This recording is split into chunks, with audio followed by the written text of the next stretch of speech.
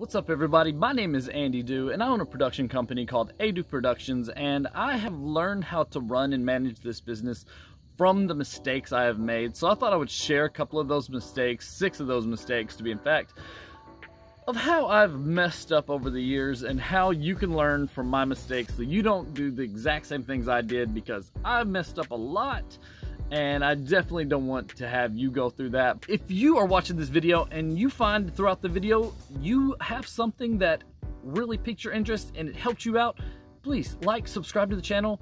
All right, so I'm gonna start this video off just by saying this, I have no hard feelings with anybody. Obviously, some of you who watch this video are gonna know me, and this might be about you, and it's no hard feelings against you. This is absolutely just what I've learned and how I wish I would have handled things better.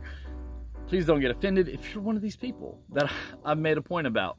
But it's business and that's what we have to do to learn. You have a business, I have a business, we're all friends, right? All right, so let's get started. The first thing that I'm gonna tell you about is don't sell yourself short. Know your value, know what you're worth. Of course, you're gonna have to do stuff for cheap at the beginning once you start your company, and get your name out there. But once you've actually been established, know what you're worth, know what your equipment's worth, so know what you can charge people and be okay with that and be confident in those. Some people are going to say no just based on price. They're going to think you're too cheap. They're going to think you're too expensive. Some people want to take advantage of you just because they think you're your friend and you should give them a deal and that's not always the way it should work. Sure, you can give your friends a discount, whatever, but you should definitely know your value and you should never sell yourself short because you are the business, you are the brand so make sure that you know what you're worth and that you deliver and go above expectations every time you have a project, but definitely don't sell yourself short. Of course, you're gonna have to go cheap at the beginning, like I said earlier, but once you get established, know your value, charge what you deserve because you're worth it. Don't hide behind the camera at events. So a lot of times what I would do is I would go to these awesome events and I would be filming weddings, sports, all these different things, and I would just hide behind the camera and look busy all the time because I thought, you know, if these people see how hard I'm working, they'll want to book me. But no, I didn't really start booking contact gigs until I started just talking to people at events. So I'm at a wedding, there's like a dead time the bride and groom's eating. They don't want to be filmed eating. So go up and talk to some people. Go around to the table. Sit with other people at the wedding. You know, set your camera out so they know who you're with, so they know what you're doing. That way you can strike up conversations. Who knows, these people might be engaged and they could get you a wedding video or they might have another event or a business or something like that. So be sure to be open at these events and don't hide behind your camera looking like you're busy whenever you don't have to be. If you have some downtime, go find some people, talk to them, make relationships, and be able to have it where these people know who you are so that whenever they want a project done that you're the first person that they call. This one's a big one. This one hurt me recently. Uh, always back up your footage. The other day I had my dog running around in my house acting all crazy and it ran over by my desk and pulled the cord for my hard drive.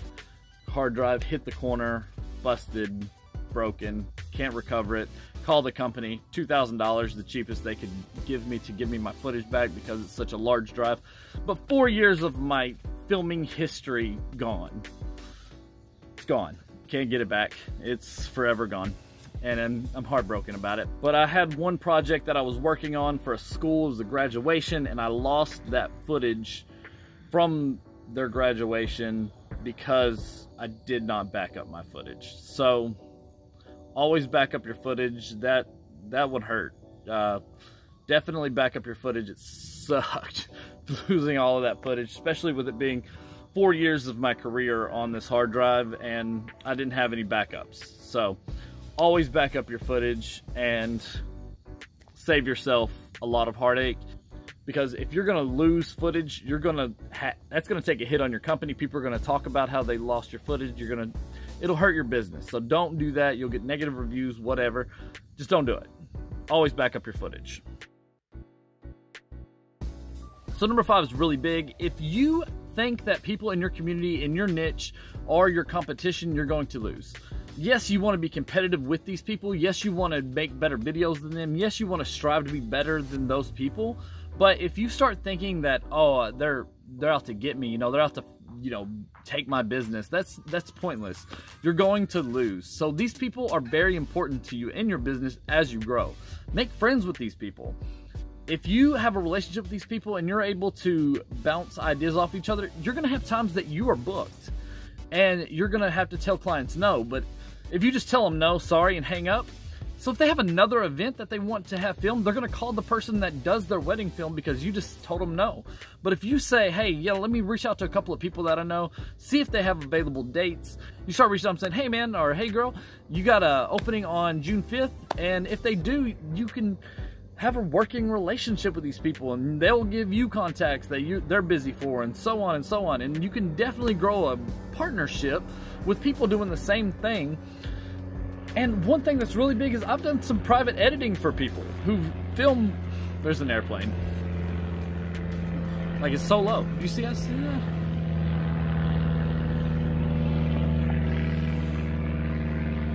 Come on, guy. I'm trying to film a video here. Golly. But you can have a working relationship with these people. You can be able to bounce ideas off of each other. I've done some editing for different videographers because they didn't have the time to they're they got slammed one month and I was able to have a little bit of free time. I had I didn't have as busy as a month as they did. So I was able to take time to edit their videos for them so that they could get their equipment out and get their stuff out really fast. And we worked together and they I was able to get paid whenever I had a low month. So if you have connections with these people, you can be able to work with each other, bounce ideas off of each other, and really grow as a business as yourself with other people who are doing the exact same thing. So do not isolate yourself in your niche because you need other people to help back you up and to help grow your business. And it's great to have friends who are doing the exact same things because they can come up with some ideas that you never even thought of. So always be friends with everybody that you can, even if they're in the same niche that you are. They're not your enemy. They're not. This one is definitely a big one. This one is probably more important than a lot of them, uh, but you're gonna want to have comfortable shoes. You are gonna be on your feet a lot. Comfortable shoes, not sponsored, but Hey Dudes are amazing. They're great for weddings. I recommend 100%. Uh, definitely get you some comfortable shoes. Try some out. Wear them for a long time. Comfortable shoes will save you a lot of pain because let's be real, we're on our feet a lot and we're getting old. That's what happens. So get you some comfortable shoes and definitely have a lot of fun because you're going to be dancing. If you dance with your camera while you're at a wedding, people will book you like crazy. I've never danced at a wedding with my camera. I don't know what I'm talking about. But I'm going to start because I bet people would book more wedding films. Always have your contracts, always have your information planned out before you start a project and to have a backup plan for if something doesn't go right. So if you don't have anything lined up, they're gonna keep taking advantage of you, taking advantage of you, and taking advantage of you, and you're never going to get what you said, and you're never going to get paid the way you deserve to be paid because you're reshooting, reshooting, reshooting.